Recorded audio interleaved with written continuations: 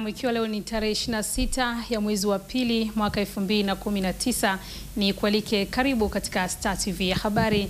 Miongoni mwa habari tulizokuandalia usiku wa leo ni pamoja na wabunge wa chama cha wananchi kafu wanaomba mkono, wanamuunga mkono katibu mkuu wa chama hicho Maalim Seif Sharif Hamadi wamemwomba jaji mkuu wa Tanzania kuangazia ushauri linalohusu uhalali wa wenyekiti wa Profesa Ibrahim Lipumba. Nam, hicho ni kidokezo tu, lakini mengi zaidi, basi tafadhali tuambatane sote.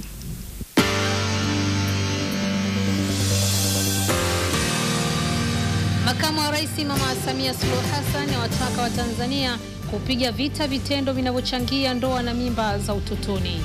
Serikali mkoani Mwanza yatoa siku saba kwa wafanyabiashara wa ng'ombe na wachinjaji kuendelea na utaratibu wa kuchinja wakati mazungumzo na mkuu wa wilaya Nyamagana yakiendelea. Kwa habari za biashara na uchumi, waziri wa kilimo asema kushuka kwa thamani ya shilingi ya Tanzania kunachangiwa na kushuka kwa bei ya mazao yanayouzwa nje ya nchi. Katika habari za kimataifa, kiongozi wa Korea Kaskazini Kim Jong Un awasili mapema leo Jumanne nchini Vietnam. Na katika habari za michezo na burudani, uongozi wa Azam FC watoa ufanuzi juu ya sakata la kumtaka kocha wa Yanga na kocha wa zamani wa Liverpool Rogers mbioni kujiunga na Leicester City.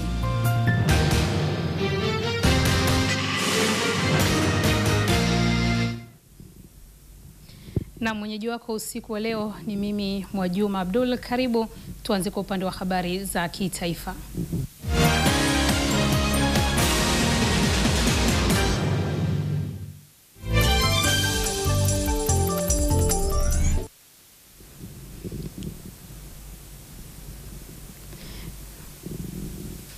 Nam, karibu.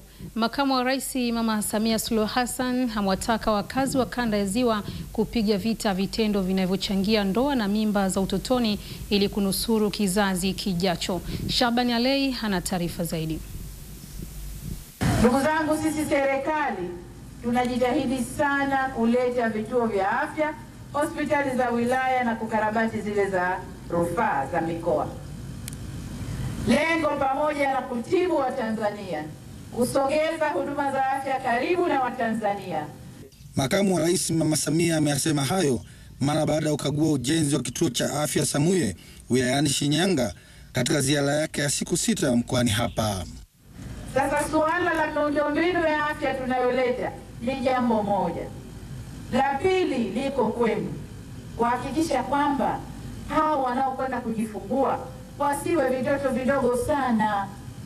Tuna tatizo la mimba za utotoni, ndugu zangu, na ukanda huu umekithiri kwa hilo. Watoto wadogo wadogo wanapata ujauzito, wanakwenda kujifungua, wanashindwa kujifungua. Tunapoteza wakina mama, lakini na watoto waliopaswa kuja uhai mpya katika dunia hii tunawapoteza. Awali mkuu wa mkoa wa Shinyanga Zainabu Teraki amesema mkoa wake umepokea fedha kwa ajili ya ujenzi wa vituo vya afya. Mheshimiwa Makamu wa Rais, mkoa wetu umepewa fedha kwa ajili ya kujenga vituo kumi na moja vya afya. Hiki cha Samuye ni moja kati ya vituo hivyo, na hiki ni kituo ambacho fedha zake zimetolewa kwa awamu ya pili. Lakini naomba tuwatie moyo waheshimiwa wananchi na Mheshimiwa Makamu wa Rais kwa maagizo ya Mheshimiwa Waziri wa Nchi, vifaa vitakuja hapa. Hatuwezi kushindwa kuleta milioni mia tano kujenga kituo kizuri tumekisikia tukashindwa kuleta milioni mia mbili vifaa vipatikane. Mbunge wa jimbo la Sulu Ahmed Salum na mbunge wa viti maalum mkoa wa Shinyanga Aza Hilali walikuwa na haya ya kusema kwa makamu wa rais. Nafahamu sana serikali inafanya mambo makubwa sana, lakini mtuonee huruma kidogo tu, kwa kuna kwa mwaka wa fedha unaokuja tukipata hata bilioni mbili ili tukakamilishe zahanati, ziko thelathini na mbili zinahitaji kupauliwa. Shule za msingi maboma hamsini, kwenye sekondari maboma hamsini na nane. Yote haya yanahitaji Zahanati ya kata ya Solwa, kijiji cha Solwa, wananchi wameanzisha kwa nguvu zao, wameinua majengo mawili, wodi ya wazazi na wodi ya watoto, na mimi nikawasaidia wodi ya wazazi, tumekwisha paua. Nitumie fursa hii kupiga magoti kwako mama yangu, nakuomba sana waangalie wananchi wa kijiji cha Soro. Kutoka hapa Shinyanga ni mimi Shabani Alei wa Star TV. Rais wa Jamhuri ya Muungano wa Tanzania Dr. John Pombe Magufuli leo amekutana na kufanya mazungumzo na mkuu wa idara ya upasuaji wa ubongo na mishipa kutoka hospitali ya kimataifa iliyopo Beijing nchini China. Tuitazame taarifa hiyo. Mazungumzo hayo yamefanyika Ikulu jijini Dar es Salaam na kuhudhuriwa na balozi wa China hapa nchini Wang Ke, waziri wa afya, maendeleo ya jamii jinsia, wazee na watoto Umi Mwalimu, pamoja na mkurugenzi mtendaji wa hospitali ya taifa ya Muhimbili Profesa Lawrence Mseru. Katika mazungumzo hayo, Rais Magufuli ameishukuru hospitali ya kimataifa ya chuo kikuu cha Peking kwa kukubali ombi lake la kuanzishwa ushirikiano huo na MOI na kumhakikishia Profesa Zhao Yunil ambaye ndiye daktari bingwa kutoka China kwamba serikali itatoa ushirikiano wa kuijengea uwezo MOI. Waziri wa afya, maendeleo ya jamii, jinsia, wazee na watoto Umi Mwalimu amesema ushirikiano huo utaifanya Tanzania kuwa kituo cha umahiri katika huduma za upasuaji ubongo na mishipa ya fahamu na kupokea wagonjwa kutoka nchi za mashariki na kusini mwa Afrika. Kupitia ushirikiano huu ambao tumeuanzisha, kwa kweli ni matumaini yetu kwamba nchi yetu sasa itajenga uwezo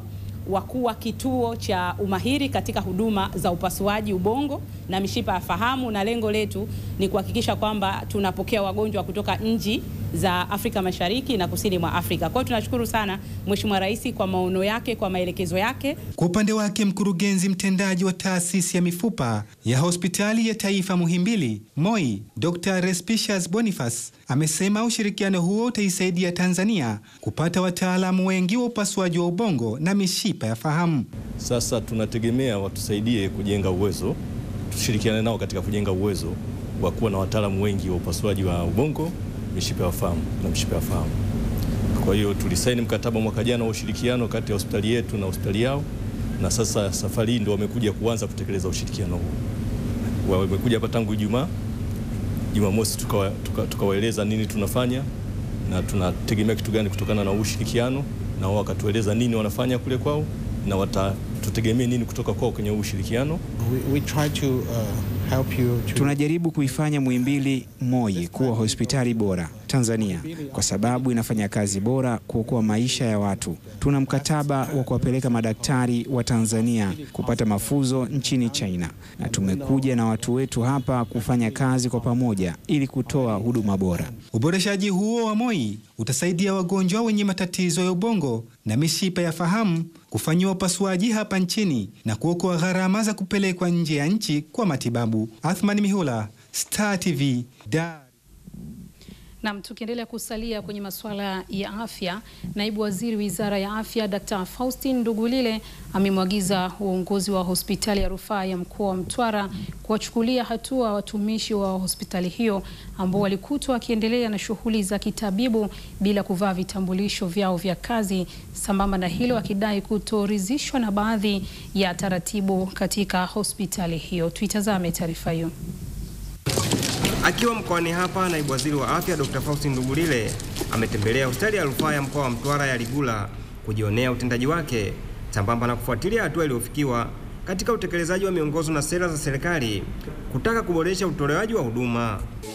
Umesahau nyumbani, hujasahau kuvaa uniform, lakini umesahau utambulisho, na wewe umesahau, na yule mwingine amekiweka kwenye pochi ndio nimeingia mchana sasa, nilikuwa nimebadilisha. Hapana,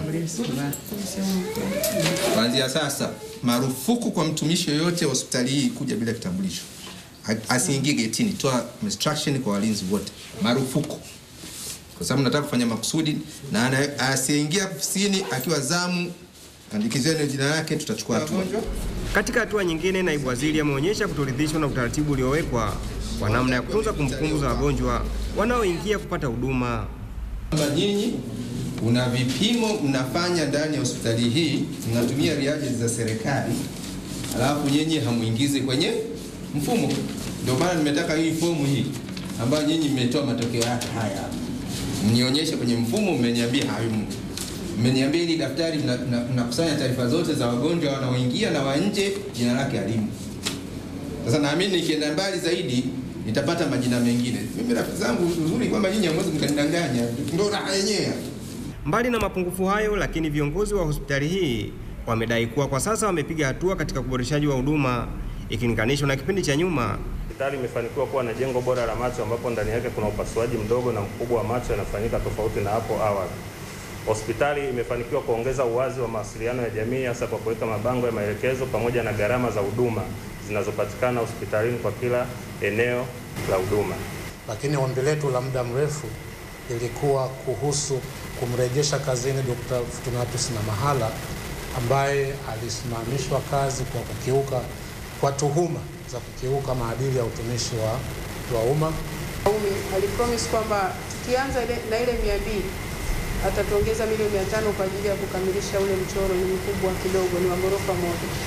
Kwa naomba mheshimiwa, hili bado lichukue katika hiyo hela milioni mia tano ambayo tulikabidhiwa na waziri, kama hali itaruhusu, kwa sababu wiki ijayo tunategemea kuanza ujenzi. Kutoka hapa mkoani Mtwara, Omari Huseni wa Star. Wabunge wa chama cha wananchi CUF wanaomuunga mkono katibu mkuu wa chama hicho Maalim sefu Sharifu Hamadi wamemwomba jaji mkuu wa Tanzania na jaji kiongozi kuangazia shauri linalohusu uhalali wa wenyekiti wa Profesa Ibrahim Lipumba ili lifikie mwisho kwa kutolewa hukumu kwa madai kuwa kucheleweshwa kwake kuna athiri utendaji wa chama hicho. Athmani Mihula na taarifa zaidi. Akisoma tamko hilo mbele ya waandishi wa habari jijini Dar es Salaam, mnadhimu wa kambi ya kafu bungeni na mbunge wa jimbo la Malindi Ali Saleh amesema kuahirishwa kwa hukumu ya shauri hilo kwa mara ya nne kumeathiri chama hicho kwa kiasi kikubwa na hivyo kushindwa kutekeleza majukumu yake kutokana na mvutano wa uongozi unaoendelea ndani ya chama hicho. Ombi letu ni kwa Mheshimiwa Jaji Mkuu na Mheshimiwa Jaji Kiongozi kuona jambo hili linafanyika kadri ya taratibu na wajibu wa kimahakama unavyohitajia na kwa kutizama kwa kutizamana na ukweli kuwa uamuzi wa kesi hii utawezesha kwa njia moja au nyingine chama cha CUF kitimizi wajibu wake wa katiba na wajibu wake katika siasa ushindani za Tanzania. sale amesema upande unaoongozwa na Maalim Seif utapokea hukumu yoyote itakayotolewa na Mahakama Kuu na kuhoji shauri hilo kutumia muda mrefu licha ya kufunguliwa kwa hati ya dharura toka mwaka 2016. Uongozi wa chama chetu, ndugu waandishi, umekwisha kusema kuwa sisi tuko tayari kupokea uamuzi wa mahakama kama utakavyotolewa, na tumejipanga kwa matokeo ya aina yoyote yale. Tunaomba hukumu hiyo sasa isomwe, maana muda umekuwa mkubwa. Kwa upande wake mbunge wa jimbo la Mchinga Hamidu Bobal amesema mgogoro wa kiuongozi ndani ya chama hicho umepelekea kushindwa kuwatumikia wananchi waliowachagua kwa sababu mpaka ngazi ya wilaya zimegawanyika na kukwamisha kukutana na wapiga kura wao. Kesi zimetuathiri sana sisi wabunge kama wakilishi wananchi, tunashindwa kufanya vizuri kwenye maeneo yetu ya uwakilishi ni kwa sababu ya kesi. Kwa hiyo ombi alilotoa Mnazi na ni ombi la wabunge wote tunaomba kama kuna uwezekano, hatuishinikizi mahakama. Mahakama ina zake namna ya kufanya shughuli zake. Kesi ya kuhoji uhalali wa mwenyekiti wa CUF Profesa Ibrahim Lipumba namba 23 ya mwaka 2016 inatarajiwa kusomwa hukumu yake Machi 18 mwaka huu chini ya jaji wa mahakama kuu ya Tanzania Dr. Benhaj Masud. Athman Mihula, Star TV, Dar. Mbunge wa jimbo la Rorya mkoani Mara, Lameck Okambo Airo amewataka viongozi wa serikali za vitongoji na vijiji wilaya ya Rorya kuacha tabia ya kuwakumbatia wahalifu hasa wezi wa mifugo kwa kuhofia kupoteza kura katika chaguzi zijazo, jambo ambalo linasababisha wananchi kupoteza imani na serikali iliyopo madarakani. mili kuna ng'ombe liibwa kutoka Buturi ikaja ikapatikana uwanja wa mpira, pia tuhuma zikawa zinamgusa huyo huyo Taylor. Sasa hili tunashindwa, hizi ng'ombe tena za uwanja wa mpira zinaibwa, zinapatikana kwa zinapitia kwa waki, zinaenda zinafika Buturi, tuhuma inakuja Taylor, na yule mama hawezi akatoka kwa waki akaja akachukua ng'ombe hapa bila mtu hapa, na kila wizi ukifanyika ni huyo huyo ndio wanayemlalamikia. Sasa sisi tunashindwa kwamba na hata viongozi wetu wa kijiji sio kwamba hawana taarifa, taarifa zake wanazo vizuri. Sasa tunashindwa kujua kwamba labda wanamlinda kwa sababu ni mwenyekiti wa kitongoji. Mheshimiwa mbunge, leo umchaji mtu ambaye alipigiwa yowe akaenda kwenye yowe, ukamwambia kwamba wewe ulienda kwenye yowe na ukala nyama, unatakiwa utoe ng'ombe. Je, kesho mtu akiibiwa akipiga yowe, huyu aliyelipa ng'ombe ataenda? Hivi karibuni mkuu wa wilaya ya Rorya Simon Chacha aliwataka wananchi wa kijiji cha Ochuna kurejesha ng'ombe tisa waliowachukua kutoka kijiji cha Buturi wakiwa pamoja na ng'ombe wawili wa wizi walioibiwa katika kijiji cha Uchuna, jambo ambalo linapingwa na wananchi wa kijiji hicho. Jumanne Ntono, Star TV, Mara. Jumla ya wanafunzi ishirini wa shule ya sekondari ya Nitekela iliyopo kijiji cha Migomba, halmashauri ya mji wa Nanyamba mkoani Mtwara wamekatisha masomo mwaka 2018 kwa madai ya kushindwa kuelewa lugha ya Kiingereza pamoja na adhabu za viboko shuleni. Tuitazame taarifa hiyo. Kuna adhabu kubwa ya viboko, adhabu ya kila namna, na wanapofika shuleni wanafunzi wana viwango mbalimbali vya uelewa. Star TV imezungumza na baadhi ya wazazi wa kijiji hicho ambao wamekiri kuwa watoto wao wanaacha shule kwa sababu mbalimbali ikiwemo kushindwa kuelewa lugha ya Kiingereza pamoja na adhabu za fimbo, huku wakipeleka lawama zao kwa walimu wa shule za msingi kutumia mbinu za udanganyifu kufaulisha wanafunzi. sababu wanaacha kwa vipengele visivyo sahihi. Kupigwe shuleni ni wajibu, sababu hata nikirudi kwenye upande wa dini, hata Sayyidina Muhammad amepata kuijua Qur'ani baada ya adhabu kupewa na malaika Jibril kwa kumtuma Mungu, ndio maana ameipata Qur'an. Kwa changamoto kwa kweli hawaelewi kutokana na huko shuleni, wanakuwa walimu kwa cha kwanza huko kidogo hawaifahamu kwa maana kuwa inawezekana kuwa ufaulu wao unaotokana kutoka shule za msingi na kwenda sekondari, yani hauendani na kitu kama hicho. Na ishu nyingine huwa wanavyoenda kule, kuna adhabu kubwa ya viboko, adhabu ya kila namna. Idrisa Mohamed ni afisa elimu sekondari halmashauri ya Nanyamba, anasema wazazi wanapaswa kuhimiza watoto wao kuhudhuria masomo, huku mbunge wa Nanyamba Abdalla Chikota akitoa somo la adhabu mashuleni. Kwa hiyo sasa wanaposema kwamba wanashindwa kwenda shule kwa sababu hawaelewi, ni kitu cha kushangaza.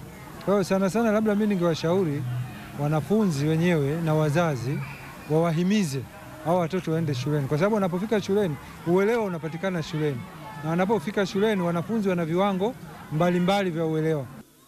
Ndugu zangu ni walimu wala sio vichaa. Yaani wewe utafikiri walimu kama watu vichaa. Yaani hakuna mwalimu duniani ambaye anachukua kiboko tu akamwakulana tuna viboko tuje wanafunzi. Hapana. Mwanafunzi anayesifia kiboko kama sio mbivu darasani akipewa homework afanye, basi ana udhaifu mwingine. Hata hivyo, kanuni ya adhabu za viboko mashuleni namba tatu kifungu kidogo cha kwanza kinampa mamlaka mwalimu mkuu wa shule husika kutoa adhabu isiyozidi viboko vinne kwa kuzingatia umri, jinsia na afya ya mwanafunzi endapo kutatokea utovu mkubwa wa nidhamu ndani au nje ya shule. Joseph Mpangala, Star TV, Mtwara. Na wakati ukitafakari hilo kutoka Mtwara, rais wa Zanzibar na mwenyekiti wa Baraza la Mapinduzi Dr. Ali Mohamed Shein amelitaka bunge la Jumuiya ya Afrika Mashariki kuharakisha mchakato wa kuanza kutumia Kiswahili kama lugha rasmi ya bunge hilo. Tuitazame taarifa hiyo.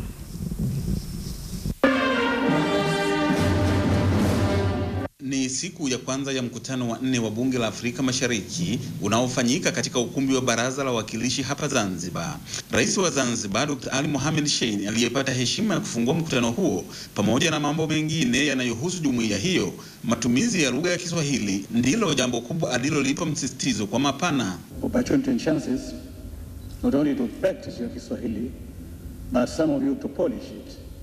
Hii ndiyo fursa ya kutumia lugha yetu ya Kiswahili, lakini hata nyie ambao hamkitumii sana kwenye nchi zenu, ni wakati wenu sasa kujiimarisha. Karibu nchi zote sasa wanafundisha Kiswahili na wanakiongea. Kimetoka Afrika Mashariki, kimekwenda nchi nyingine za Afrika, kimekwenda Ulaya, kimekwenda Asia na kwingineko. Wenzetu wanakiheshimu, lakini sisi ambao ndio wazalishaji wa lugha hii hatukitumii. Ni nafasi yenu wa bunge sasa kuendesha mambo yenu kwa Kiswahili.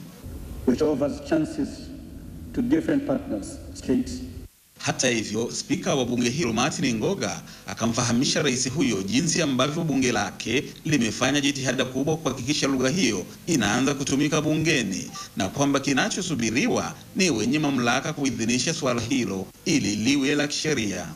It is through such initiatives of connecting with the citizens. Kwa kupitia fursa kama hizi, wananchi wa Afrika Mashariki wanaweza kuunganishwa kupitia lugha moja ambayo ni Kiswahili. Hili jambo tunalifanyia kazi kwa kasi kweli. Kila siku tunasisitiza, tuna hamu na tumedhamiria kweli, lakini tunasubiri wakubwa waidhinishe jambo hili. Kuna haja ya kutangaza na kueneza utamaduni wa Afrika Mashariki kupitia Kiswahili. There is a need to promote a culture of East Africanness Baadhi ya wabunge wa bunge hilo wanasisitiza haja ya matumizi ya Kiswahili katika kuendesha vikao vyao. Tumeipokea na tulifanyia kazi haraka iwezekanavyo, kwa sababu itakuwa ni aibu kama nchi yani kama Afrika Kusini wataingiza kwenye lugha lugha yao yani ya, ya, ya, lugha zao zile kumi na moja waongeze na Kiswahili, alafu sisi kama jumuiya bado hatuja hatujaingiza yani. Umoja wa Afrika Kiswahili ni mojawapo wa lugha rasmi, na sasa itakuwa basi si sawa kama sisi wana East Africa ambayo lugha hii ni yetu, ambayo hatuifanyi lugha hii uh, kwa- kwa muhimu sana. Leo mapendekezo ya Mheshimiwa eh, His Excellency eh, Dr. Shein ni muhimu sana. Baada ya ufunguzi, bunge hilo litaendelea na vikao vyake vya kawaida Jumatano hii. Angelo Mwaleka, Star TV, Zanzibar. Na jeshi la polisi kikosi cha usalama barabarani nchini kwa kushirikiana na mamlaka ya udhibiti wa usafiri wa majini na nchi kavu Sumatra limeanza operesheni ya ukaguzi wa magari makubwa kama hatua za kudhibiti ajali, kazi ambayo inafanyika katika kituo pendekezwa cha Mizani Mpemba.